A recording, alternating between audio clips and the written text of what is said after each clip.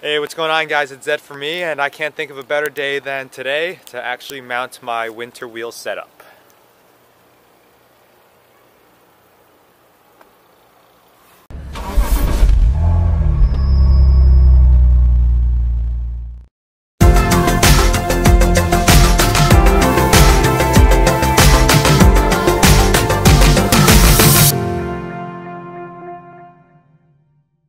So actually after I just finished uh, shoveling the snow, it began to rain a lot, so I decided to just kind of call it quits and uh, not mount the tires. Um, but luckily all the rain is gone. The uh, rain washed away all the snow. It was actually pretty, no, pretty heavy, uh, about five inches or so of like really thick heavy snow. And uh, for those of you who know, the thick heavy snow is definitely the uh, hardest to shovel. Um, however, now that the rain is gone, uh, it's a pretty clear day today. I believe it's going to be around 50 degrees, which is like actually too warm for winter tires, but um, I'm still going to mount them today because I'm expecting this week to get really cold. Um, so actually, let me show you the wheels and tires that I got. So these are the wheels and tires that I got for my winter setup. These are 17 inch um, Konig Runlites. They are in uh, this uh, matte gray, they call it. They also have it available in black as well as um, just a regular silver. I decided to go with this uh, this uh, matte gray because I think it looks really nice. It came out looking really great actually in person, even better than it did in the photos, and I was already impressed by the photos.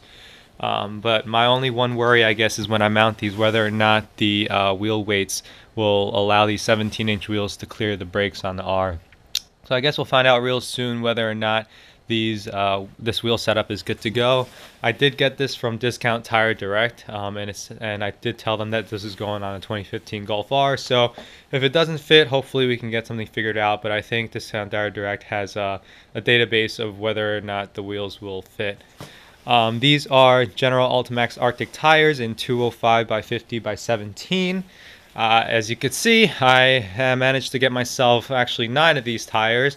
Um, originally, my idea was to get some Neuspeed RSC 05s. Um, however, uh, that didn't work out, but I did get this setup right here, these Ford wheels and tires, um, actually for under $550 when originally before discounts, before rebates, uh, and before some coupons, it would have been over a grand. So I definitely saved myself a lot of money.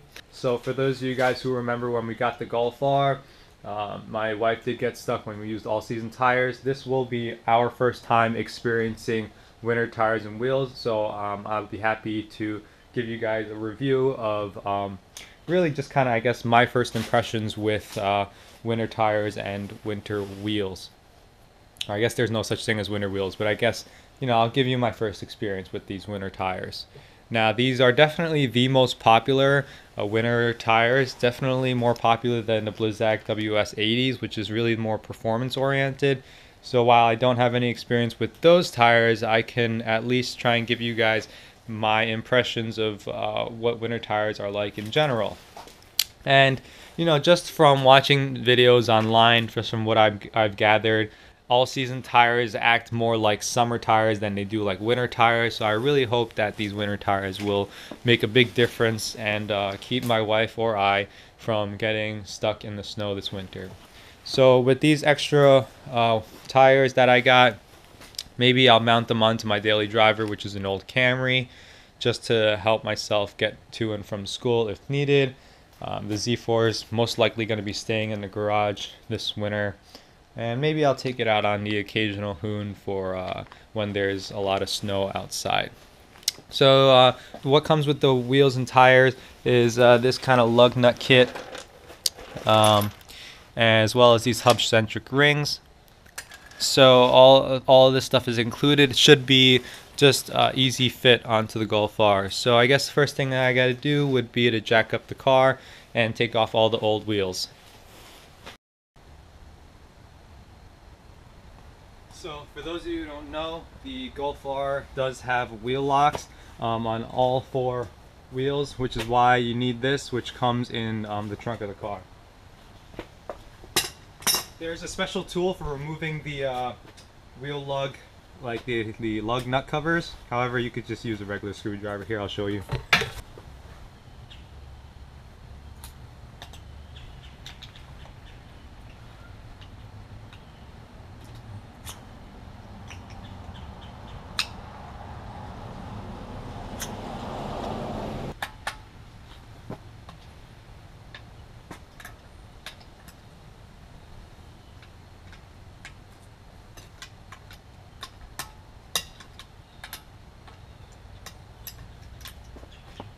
So all I did there was uh, break loose the uh, wheels a little bit before I actually jack up the car so that I'll be able to uh,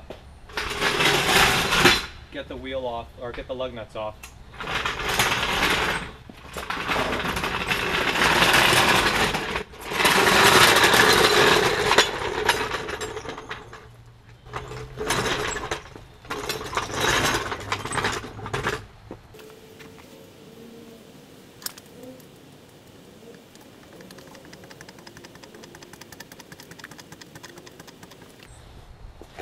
I just had to get the car high enough so that I could take the wheel off.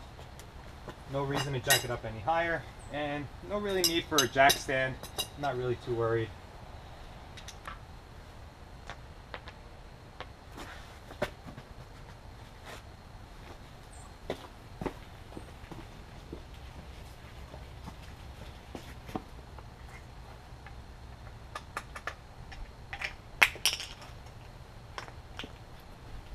So unfortunately I just tried to test fit the uh, Volkswagen hubcap, see if it'll fit, which it actually does not, um, which means that these Konig uh, center hubcaps will have to stick with the actual wheel.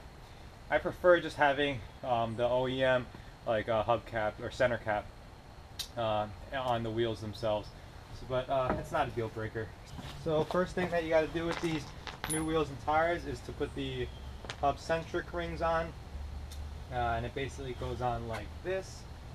The reason why this needs it and uh, the old RSC wheels from Neuspeed didn't is because Neuspeed develops those wheels specific for Volkswagen whereas these Konigs are developed for a bunch of tire uh, for a bunch of different cars which means that they make the um, center ring a little bit bigger. And this ring right here that we put in this pretty basically has the inner diameter uh, the same as the hub on um, our car here. And it allows it to stay centered so that there's no excess wheel wobble uh, when you put on the uh, when you put on the new wheels and tires. So we'll just flip this around here. And they also include their own lug nuts. So we'll be using the new lug nuts as well. You always want to thread these by hand before you actually use any impact wrench on them simply because you can cross thread it and that would be really really bad.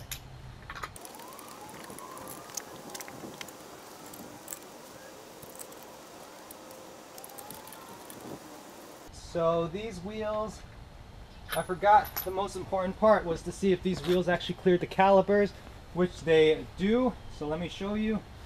So look at this.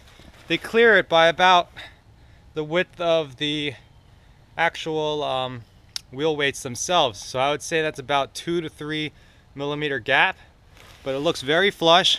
Sorry I have, you know, rust all over my rotors, but um, it'll be gone right after I drive the car. But I think they look great. So uh, I'm gonna tighten everything down and I'll do all four corners and I'll be right back. All right, so this is the final product. I just got it all installed. Actually got a lot warmer, so I had to take off my jacket, but this temperature is definitely too warm for these uh, winter tires.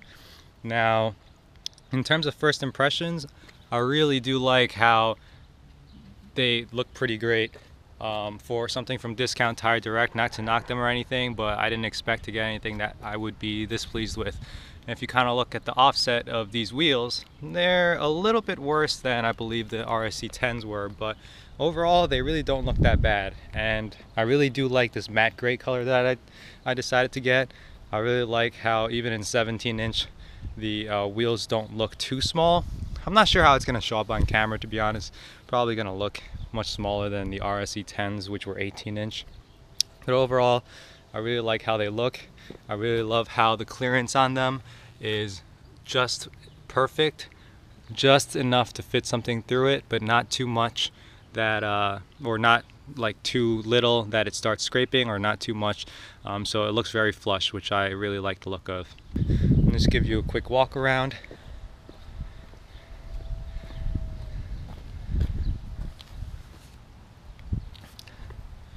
I think once summertime comes around, um, I'll have to probably put these back on, run them for one or two more seasons. Uh, the tread on the front is significantly less than the tread on the back already, which tells me that these tires aren't going to pro are probably not going to last too long. So my guess is that I will be going through one more season with these RSC 10s, and then the next thing to do is probably get some nice summer tires on there. Since now I have a winter setup, doesn't make sense for me to get all seasons for the summer.